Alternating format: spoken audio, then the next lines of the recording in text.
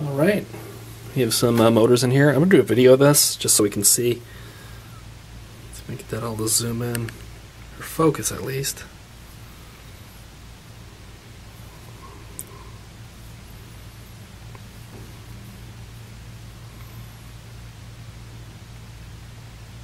Little gears in there.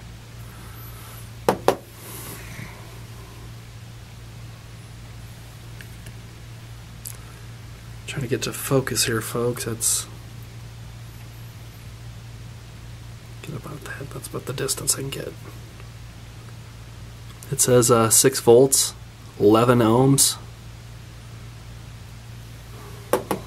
Here's one on here. This one says 5 volt, ratio 15 to 1. ROHS. Here's the back side of it. Uh, looks like it's slotted too. Little slot right there. Here's a little mini. This one right in here, ROHS. Uh, 20 DAM, 40D, 2E. Something like that. This one has a little threading right there.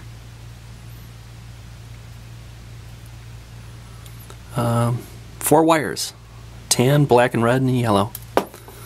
Same wires set up in here. This is a 5 volt. This is a 5 to 1 ratio. Let's see if we can get that focused. Shoot. Try to zoom. Stay with me. 5 volt on that. ROHS. 5 to 1 ratio. This is an interesting little one. Oh, did I show you the backside? I didn't show you the backside of this one before I move on. This one. Is it slotted? This one appears not to be slotted. Doesn't have a D in there. So that's another interesting one here. Sorry, the camera doesn't focus right, but I can't get it. Hitting that button there doesn't do anything either.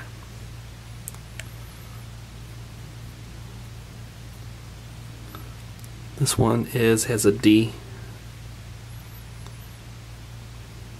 slotted there.